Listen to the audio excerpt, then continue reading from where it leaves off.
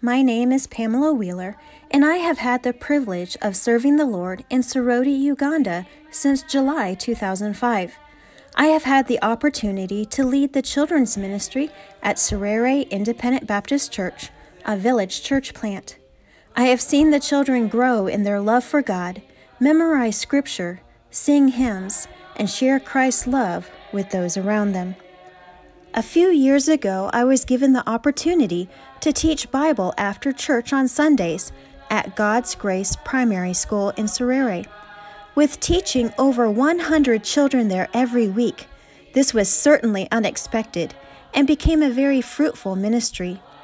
The children were always excited to learn the stories in God's Word, memorize Scripture so that they could earn their own Bible, and then many put their trust in Christ after learning about His great love for them. A ministry near and dear to my heart is Soroti Orphan Assistance Project. It is here where other BIMI missionaries and I have been able to take care of destitute orphans. What a joy it has been to see the children grow physically, mentally, emotionally, but most importantly, to grow spiritually. We have had many opportunities to learn life lessons together, to play together, and to serve the Lord as a family united in Christ. A highlight in the ministry for me has been to spend time with the teenagers as we've been able to study God's Word and learn how to share our faith with a greater zeal. Also, having a teen girl Bible study where we've been able to deal with the topics important to the girls at this time in their lives has been significant. Thank you for praying for us at Soroti Orphan Assistance Project. An important ministry in Soroti is Independent Baptist School, the Christian school for the orphans. I had the opportunity to teach many different subjects and many different grade levels throughout the years, but I also had the privilege of being the principal for 12 years. It was as principal that I was able to learn the struggles and successes that the students would have in class, as well as encourage them to keep on focusing on their studies.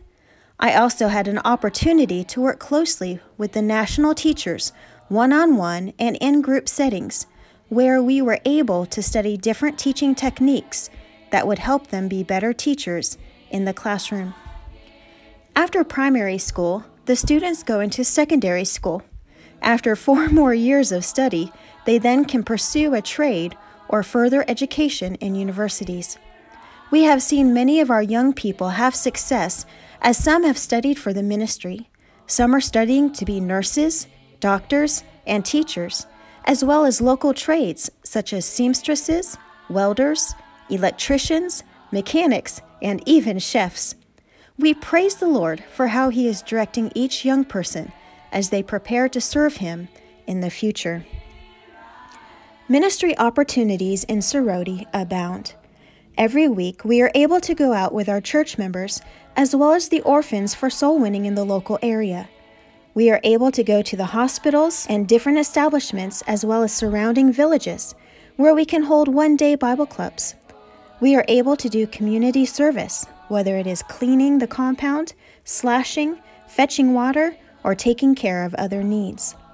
Discipleship can be done at the local schools, as well as with ladies from the church and surrounding area. Saturdays became one of my favorite days of the week as we were able to go to a predominantly Muslim neighborhood and spread the gospel through songs, Bible memory, and Bible stories, as well as tract distribution. The children each week were eager to learn about the saving knowledge of the Lord Jesus Christ.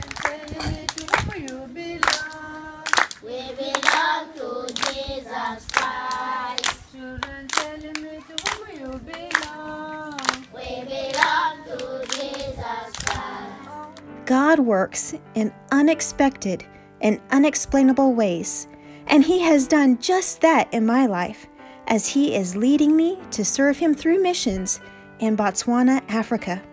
I am very excited and thankful for the opportunity I have to work with BIMI missionaries, Mike and Cindy Haley. Pastor Haley is currently pastoring Grace Baptist Church in Gaborone, Botswana, the capital city of the country.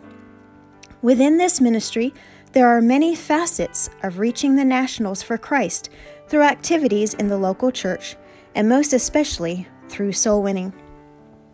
17,000 copies of the New Testament in the Setswana language were just printed by the church and distributed throughout town and in the local schools. The government has been very thankful for this opportunity and is even wanting to make the New Testament a required textbook in all of the schools within the country. Along with the public school ministries, the Lord has also given Grace Baptist Church the ability to hold village Bible clubs. As a thriving New Testament church, Grace Baptist Church is ready to go into their own building. We praise the Lord that this school building is becoming available and would be a perfect fit for the ministry. Not only that, it would be a perfect beginning for a Christian school in the capital city. The harvest truly is plenteous, but the laborers are few. Maybe the Lord is working on you and your family to serve with us in Botswana, Africa. Corrie ten Boom once said, Never be afraid to trust an unknown future to a known God. Someone somewhere is depending on you to do what God has called you to do. Please pray for me, Pamela Wieler, as I seek to do what the Lord has called me to do in Botswana, Africa.